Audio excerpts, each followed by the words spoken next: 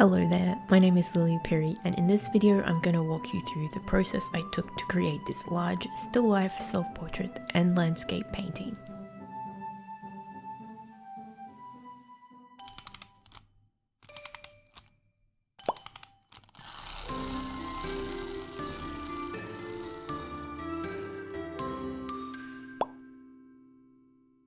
The first thing I started out with was sketching my ideas for the composition.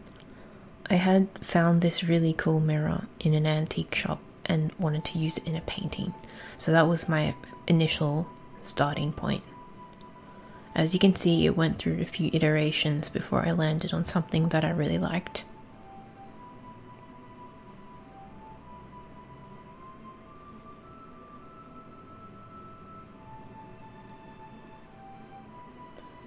This is the final setup. I found this passion fruit on one of my walks, just growing on the side of the road in some bushland.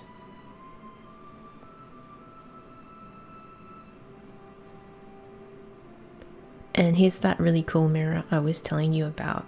It kind of looks like a porthole on a ship, and that's me. And here's a close up of those passion fruit. I really like the spots on them and the color. And this is the little glass honey bear jar I found. And I put a little candle behind my big jar of honey just to make it look a little bit more interesting. This time I'm using some actual rag because I wasn't real happy about using paper towel. It's not very like environmentally friendly. So I've just switched to a bit of tea towel and hopefully I can hang it out to dry and reuse it. And I'm using, well, I'm not super sure which brushes I'll end up using on this. I reckon it'll be a bunch of these. So because I'm painting something bigger, I've tried to switch up to use bigger brushes. So we'll have to see how that goes trying to keep it painterly and the best way to do that is not let myself use like triple zeros. And this little guy goes. If you remember this one from the last video, what I'm going to do is I'm going to use this blue and I think that's ultramarine blue and cadmium yellow to mix the colours for the passion fruit because I think it's roughly the same green as that green apple and you can see it has spots as well. So these are the colours I've decided to go with. It's mostly my usual stuff. Because I'm painting the honey again, I'm going to go that cadmium yellow, light ochre, burnt sienna mix and a bit of red and some white. I think those are the colours I'll need and I think if memory serves me correct, the base is like yellow and God, I'll probably check my other video. That's where this kind of thing comes in handy. But maybe this time what I'll do is make some color notes for myself. Because I have a feeling I'll be painting lots of these things again. If you're wondering how to choose a color at all, I reckon the best way is obviously just experimenting. But if you start with like a pretty limited palette and mix from there, you'll get better results than just trying to buy the exact right color for things. So I don't really know how you exactly choose. Like one thing you can do is what what I do. Pick a bunch of these up. Okay. So when I'm looking at that vase, it it is very clearly it very clearly has cadmium red in it. It very clearly has this um, light ochre and then you can probably see that it has like red ready burnt sienna type looking things like a terracotta color. Hopefully you can see that. That's what I'm looking at when I look at that. And obviously the highlights they're pretty white. Um, if you were going to well the lighting depends on where you are right? So if, because this is inside that lighting is going to have like a lot of yellow in it. If this was reflecting from the outside, depending on the day, it'd probably have blue in it. And yeah, that's kind of how I choose. So, um, and with painting black things like like this cat, so black furry things. Um, I actually find them really fun to paint. Like, um, I used to paint a lot of this dog um, called Pity, and she had, she was like almost completely black, I think. And you can kind of get away with a pretty limited palette, like white, black, um, blue to reflect the sky. And I think I was also using like something similar to light ochre, like a raw sienna. But I think I remember reading raw sienna isn't great in terms of cracking, but I honestly can't remember anymore. But anyway, um, stuff that's like all black or all white is really fun to paint because it's like a lesson in how those things refract in their environment. So I highly recommend it because it's like fun and a challenge, but I also think it's not as hard as people think it is.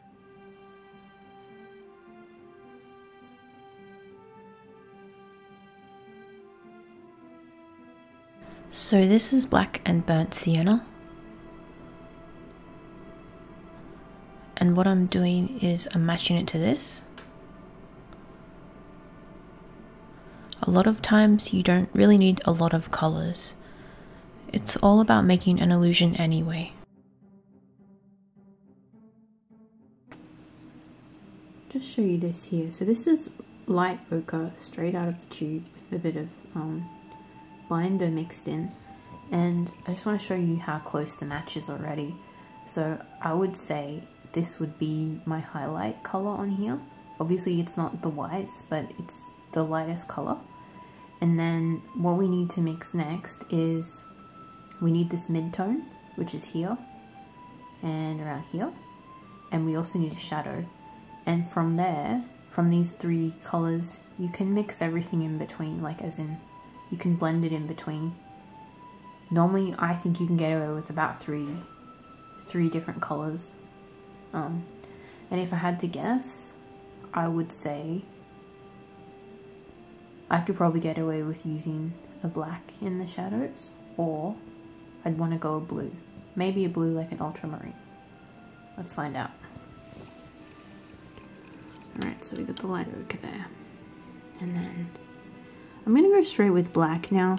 A lot of people will tell you that you shouldn't use um, straight black for shadows, but I really think it depends on lots of factors. I wouldn't be one to poo-poo it. I think there's rules and you learn them and then you can break them. So yeah, let's have a look at this. I reckon that's the mid-tone. And then the thing that's also going to work here in the mid-tones and the darks is using that either burnt sienna or an alizarin crimson to do the details, like the red marks on the paintings. So I think that was good. Now, get a bit more binder, and get a bit more this. Because I'm working at a bigger scale this time, I'm trying really hard to remember um, to mix a bit more paint. So this time I put a little bit of um, ultramarine and see what that does. Hopefully it doesn't make it too green.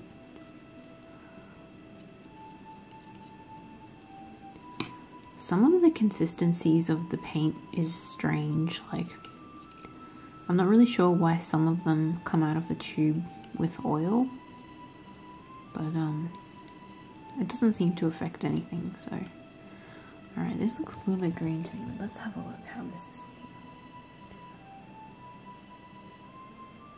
we could probably get away with this. So I want to try document the thought process behind how I would think about the colours for these leaves. So first of all, you can kind of see on this leaf here on the right that it's almost the same colours as the base. So that's our first clue. I would almost say you could probably use the vase colors for those ones. And then on these greener ones, they're almost like a very pale mint. So if I had to guess, I would say it's probably still a light ochre. It's probably got a bit of blue in it, but just a hint.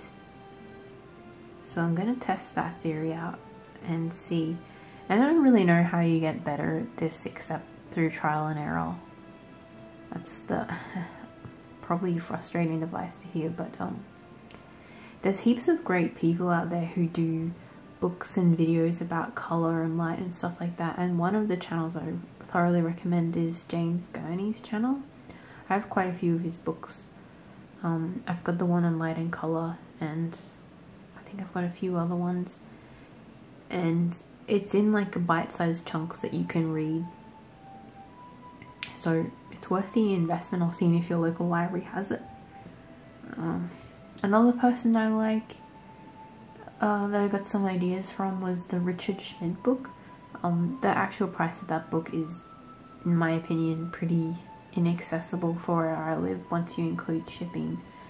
But I'm able to get it from my local library, so my first thing to do if you have a book you like that you can't afford or maybe you just want to look at before you own is just see if your library has it and if they don't have it sometimes they can order things in for you like to add to the catalog because when you think about it you are the like you're the customer of the library and they want to encourage people to read books so just have a go. That's how I got the Richard Schmid book into our library because at the time I could not afford the book, but um, they got it in for me and I've borrowed it many times and um, this year I read it cover to cover just out of curiosity and it's definitely, yeah, just get as many books as you can from the library for free and do a bit of reading. That's what I recommend. Not every book is going to be great, but normally you get a little chunk of something out of everything had a bit of trouble mixing the color for this marble here. So I treated myself to this cerulean blue. So I'll just show you the cerulean I've mixed up. I've mixed it with white and cadmium yellow and you can see it's quite yellow but then so let's bring up here I'll zoom in a bit mm, okay so you can see that these colors are pretty pretty accurate I think for what's happening with this marble and I couldn't get that before with the ultramarine and the cobalt. So we've come to the time-lapse part of the video. I hope this is helpful in some kind of way. I always like seeing other people's time lapses, so here's mine.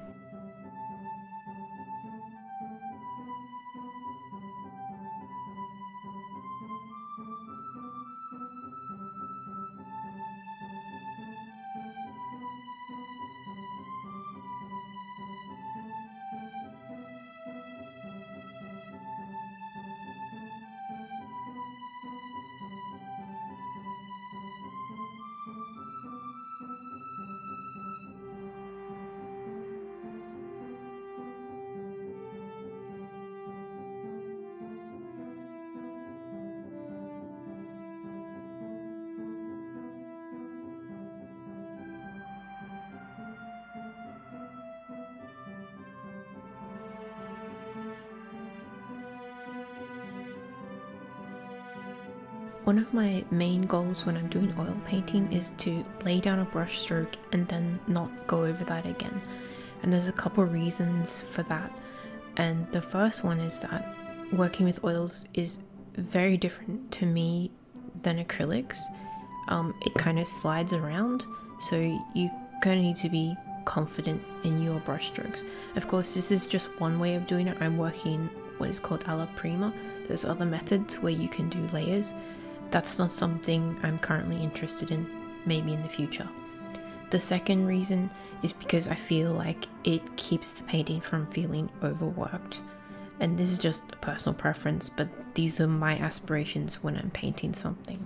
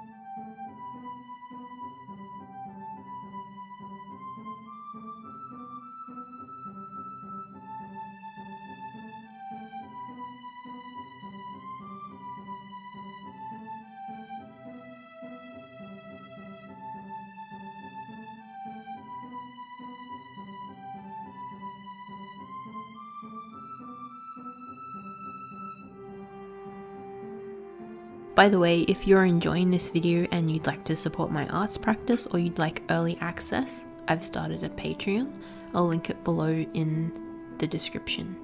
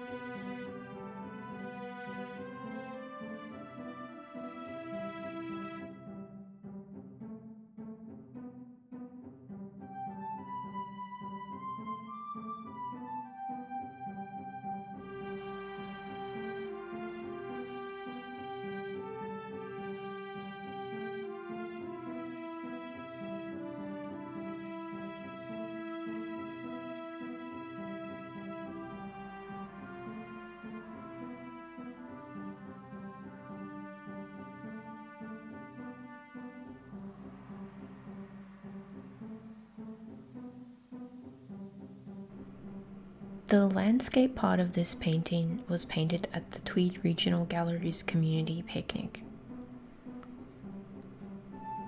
This was in the middle of lockdowns, and it felt incredible to be out there painting with other people.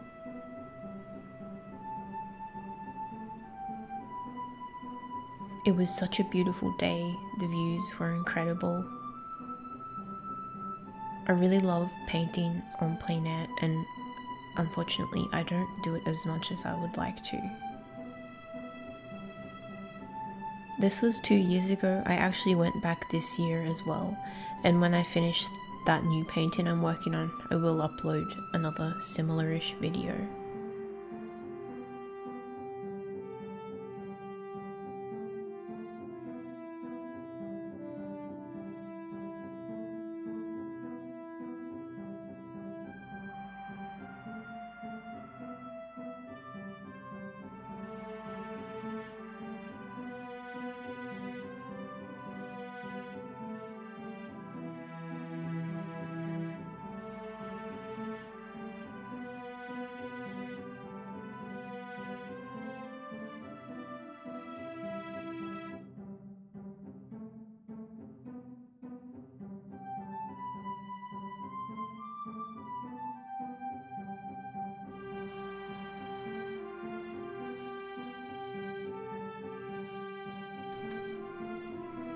So this was one of my first times using gold leaf and I really love the nature of this material. It almost feels alive.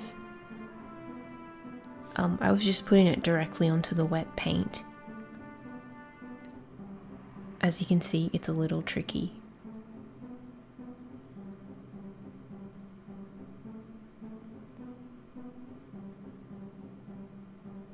It reacts to the tiniest amount of movement in the air. Afterwards, I painted over that to create my pattern, and I just used it sparingly. I just wanted a little bit of accent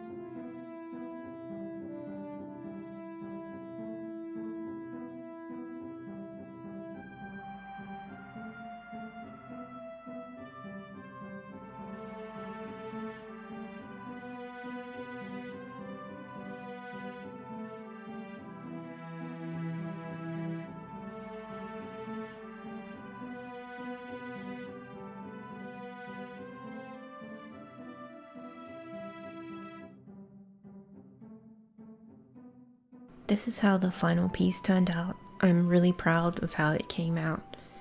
It actually made it to the semi-finals of the National Portrait Galleries competition, which it unfortunately got rejected from, but then it did become a finalist in the Lethbridge Prize.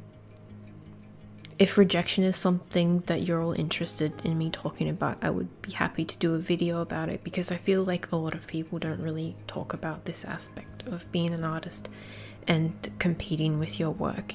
It can be really hard, and you need to take good care of yourself when it happens. I hope you enjoyed this video, and thank you so much for watching. I really appreciate it, and I hope you'll be back for the next one. I love painting and I love sharing it with you all. See you soon.